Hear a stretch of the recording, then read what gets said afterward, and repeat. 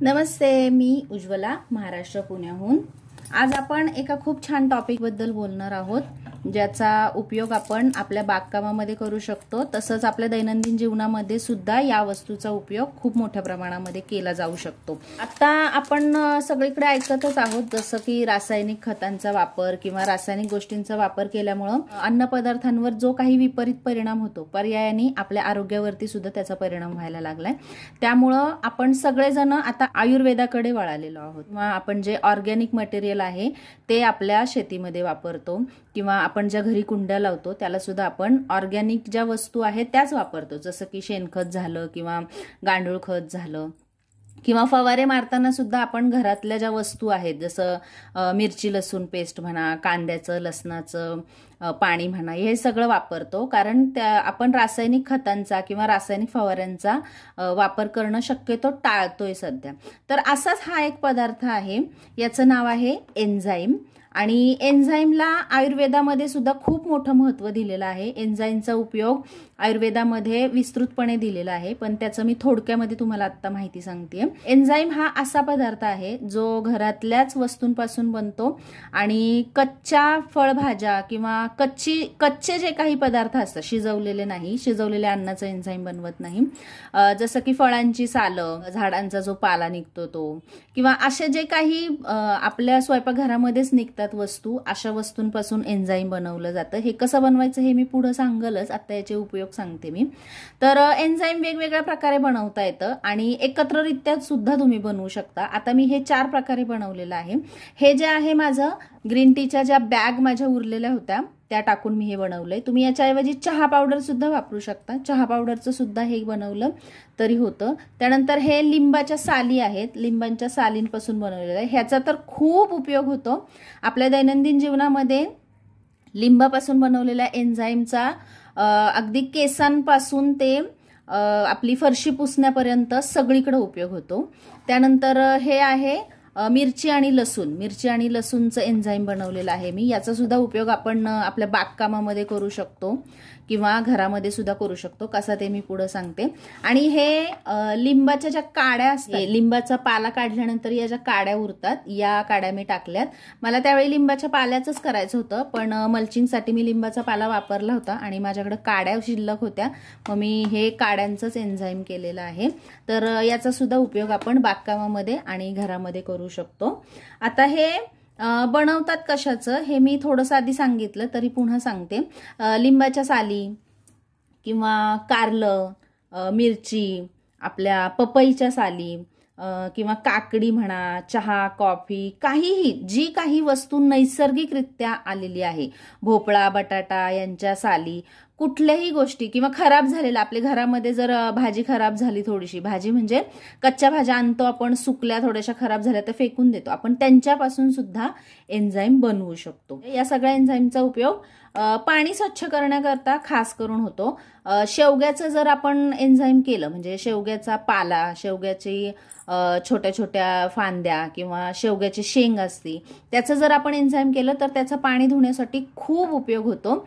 आणि पाण्यातले पाण्यातले सगळं जे काही विषारी तत्व असतात ते नष्ट करण्याचं काम एन्झाईम करतं. एन्झाईम खास करून प्लॅस्टिकच्या बॉटलमध्येच करतात. याची पण दोन कारणं आहेत. एक तर सगळ्यात पहिलं म्हणजे ह्याचं मुख्य उपयोगच प्लॅस्टिकमधलं जे विषारी पदार्थ असतात त्यांना नष्ट करणे हा असतो. आणि दुसरं म्हणजे यातून जो गॅस तयार होतो त्यामुळं जर आपण काचेची वगैरे बॉटल घेतली तर ती फुटू शकते तडकून. त्यामुळं प्लॅस्टिकची घ्यायची. प्लॅस्टिक फुगलं आपल्या लक्षात येतं. याला थोडंसं झाकण थोडंसं ओपन केलं की त्याचा गॅस निघून गेला की परत आपण लावू शकतो. त्यामुळे प्लॅस्टिकच्या बॉटलमध्ये एन्झाईम करायचं. पाणी स्वच्छ करण्याबरोबर आपण ह्याला आंघोळीच्या पाण्यामध्ये वापरू शकतो केस धुण्याच्या पाण्यामध्ये वापरू शकतो. डॅन्ड्रफसाठी खूप छान आहे हे. याशिवाय स्किनसाठी सुद्धा चांगलं आहे. स्किनवर जर काही फोड वगैरे येत असतील किंवा स्किनला जर काही इश्यू असेल तर त्याच्यासाठी एन्झाईम वापरलं तरी चालतं. कपडे धुण्याच्या पाण्यामध्ये वापरू शकतो भांडी धुण्याच्या पाण्यामध्ये वापरू शकतो फरशी पुसण्याच्या पाण्यामध्ये वापरू शकतो. याशिवाय मातीमध्ये जर आपण दिलं बागकामामधल्या मातीमध्ये जर आपण दिलं तर मातीला हे उपजाऊ करण्याचं जास्त चांगलं काम करतं.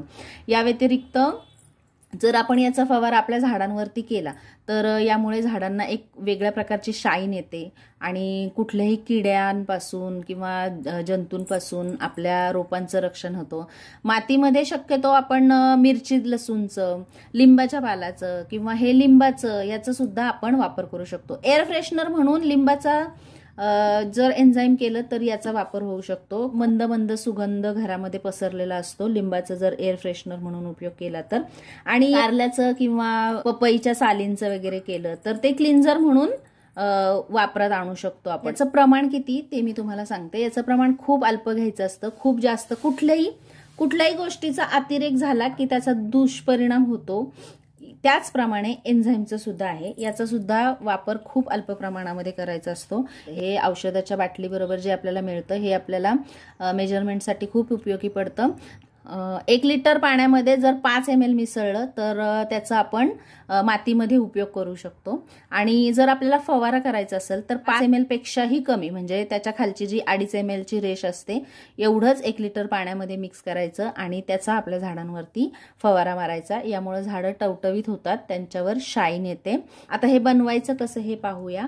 हे बनवण्यासाठी काही विशेष काही घेण्याची गरज नाही आहे आता मला हे करताना मला लिंबाच्या पाल्याचं करायचं होतं त्यामुळं आज मी लिंबाच्या पाल्याचंच करणार आहे. एक बॉटल घेतलेली आहे प्लॅस्टिकची मी आणि त्याच्यामध्ये अंदाजे एवढं अंदाजे आहे हे सगळं. लिंब्यापेक्षा थोडीशी कमी बॉटल भरलेली आहे. लिंबाचा पाला आहे हा. आणि याच्यामध्ये आपल्याला टाकायचा आहे गुळ. गुळ मी जुना काळा गुळ घेतलेला आहे. सोड्याचा गुळ घ्यायचा नाही आपल्याला. सोड्याचा गुळ म्हणजे जो पिवळा गुळ येतो सध्या बाजारामध्ये तसा गुळ वापरायचा नाहीये. साखर वापरायची नाहीये. जर गुळ नसेल तुमच्याकडं तर जेवताना वापरतो चमचे. ते तीन चार चमचे मधाचे घेतले तरी पुरेसे होतात. आता हा गुळ आपल्याला याच्यामध्ये टाकायचा आहे. तसेही गुळाचे आपल्या बागकामामध्ये खूप फायदे होतात. त्यासाठी मी एक विस्तृत व्हिडिओ बनवलेला आहे चौदा नंबरचा. तो तुम्ही पाहू शकता. ज्याच्यामध्ये मी गुळामुळं आपल्या झाडांना आपल्या मातीला काय काय उपयोग होतो हे सगळं सांगितलेलं आहे. तर हा गुळ मी या बॉटलमध्ये भरते मग तुम्हाला दाखवते. सगळा गुळ टाकून झालेला आहे. आता याच्यामध्ये अंदाजे इतकं इतकं पाणी भरायचं आहे हा पोर्शन आपल्याला मोकळा ठेवायचा आहे कारण यातून गॅस तयार होतो. त्याला एवढी जागा पाहिजे. पाणी ओतलेलं आहे. आता ह्याला टाईट झाकण लावायचं. एकदम घट्ट झाकण लावायचं. अजिबात हवा गेली नाही पाहिजे. ऑक्सिजन विरहित हे सगळं तयार झालं पाहिजे. ऑक्सिजनचा आणि याचा संपर्क आला तर बुरशी लागू शकते. हे व्यवस्थित हलवायचं. जेणेकरून पाणी सगळीकडे पोहोचेल आणि गुळ मिक्स होईल आपला. हे आज तयार केल्यापासून बरोबर तीन महिने आपल्याला ठेवायचे. हे जे माझे मागचे दिसत आहेत हे मी सप्टेंबर महिन्यामध्ये केले होते. डिसेंबर महिन्यापर्यंत हे असेच होते. त्यानंतर मी यातलं थोडं थोडं वापरलेलं आहे. वापर करताना गाळूनच वापर करायचा. तुम्हाला जर गाळून ठेवायचं असेल दुसऱ्या बॉटलमध्ये हे तर हे जे निघलेलं आहे याचा तुम्ही कंपोस्टमध्ये वापर करू शकता किंवा याच पाण्यामध्ये पुन्हा आणखीन थोडंसं मटेरियल टाकून गुळ टाकून पाणी टाकून पुन्हा याचं करू शकता. त्याला मात्र तीन महिने लागत नाही. ते यापेक्षा लवकर तयार होतं. कारण या एन्झाईमचा अंश त्याच्यामध्ये असतो. त्यामुळं ते सेकंड टाइमला आपण जे एन्झाईम करतो ते लवकर तयार होतं. पण या एन्झाईमला मात्र तीन महिन्यांचा मिनिमम तीन महिन्यांचा काळ आपल्याला दिलाच पाहिजे. आता याचा गॅस तयार झाल्यानंतर थोडीशी बाटली फुकते आपल्या लक्षात येतं अशी दाबली जात नाही. मग सुरुवातीला महिनाभर तरी दोन दोन दिवसांनी आपल्याला ह्याचं झाकण खोलायचं आता झाकण खोलायचं म्हणजे पूर्ण झाकण कधीही खोलायचं नाही. ऑक्सिजन आणि याचा संपर्क आला नाही पाहिजे. तर असं थोडंसं झाकण ओपन करायचं. हळूहळू ओपन करायचं नाही तर गॅस एकदम भस्कन बाहेर आल्यावरती आवाज येतो. त्यामुळं असं थोडंसं ओपन करायचं आणि असंच ठेवायचं. एक पाच एक मिनिटांनी यातला जो काही गॅस आहे तो रिलीज होतो. पाच मिनिटांनी आपण पुन्हा याचं झाकण लावून टाकायचं. झाकण पूर्ण ओपन कधीही करायचं नाही. जे तुम्ही भरून ठेवताल दुसऱ्या बॉटलमध्ये त्याचं सुद्धा झाकण टाईटच लावायचं. त्याचा पण ऑक्सिजनशी संपर्क आला नाही पाहिजे. पहिल्या महिन्यामध्ये तर दोन दिवसांनी आपल्याला याचं झाकण खोलावं लागतं. त्यानंतर दुसऱ्या महिन्यामध्ये एक पाच सहा दिवस किंवा आठ दिवसांनी सुद्धा जर झाकण खोललं तरी चालतं कारण गॅस तयार होण्याचं प्रमाण हळूहळू कमी कमी होत जातं. आणि तिसऱ्या महिन्यामध्ये आठ दहा पंधरा दिवसांनी सुद्धा याचं झाकण उघडावं लागतं. हे ज्याच्या त्याच्या वातावरणानुसार अवलंबून असतं.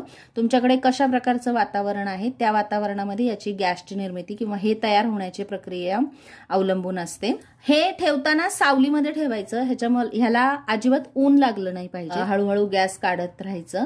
आणि तीन महिन्यांनी हे तयार होतं. तयार झाल्यानंतर आपण याचा बागकामामध्ये किंवा इतर ठिकाणी जर उपयोग करणार असाल तर होऊ शकतो. आत्ता कोविड नाईन्टीनसाठी आपण जे सॅनिटायझर वगैरे वापरतो त्याच्यासाठी एन्झाईम हा खूप चांगला पर्याय आहे. आपण हात धुण्याच्या पाण्यामध्ये किंवा भाज्या वगैरे धुण्याच्या पाण्यामध्ये सुद्धा एन्झाईमचा वापर करू शकतो. सगळ्या प्रकारे एन्झाईम आपल्याला क्लिन्झर म्हणून वापरता येतं. मातीमध्ये जेव्हा आपण याचा वापर करणार तेव्हा पंधरा तीन आठवड्यानंतर एकदा करायचा. सतत ह्याचा वापर करायचा नाही किंवा स्प्रे करता करताना सुद्धा आपण महिन्यात एकदा स्प्रे करायचा. याचा स्प्रे केल्यानंतर मला वाटत नाही की दुसरा कुठला स्प्रे आपल्याला करावा लागतो.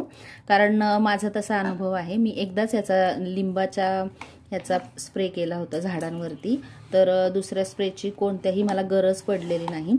त्यानंतर याचा वापर मी फरशी पुसण्यासाठी एकदा केला होता. हे मी एअर फ्रेशनर म्हणून एकदा वापरलेलं आहे. छान अनुभव आहे माझा याच्याबाबत. ह्याला मी वापरलेलं नाही अजून पण यालासुद्धा आपण पेस्टिसाईड म्हणून आपल्या झाडांवरती वापरू शकतो. कारण मिरचीचं आणि लसणाचं आहे हे तर पेस्टिसाईड म्हणून याचा चांगला वापर होऊ शकतो. तर अशा प्रकारे तुम्ही एन्झाईम नक्की तयार करा. आता उन्हाळा आहे लवकर हे तयार होईल. तर कसा वाटला हा व्हिडिओ आवडल्यास लाईक नक्की करा आणि माझी बाग या माझ्या चॅनलला सबस्क्राईब करा. नमस्ते.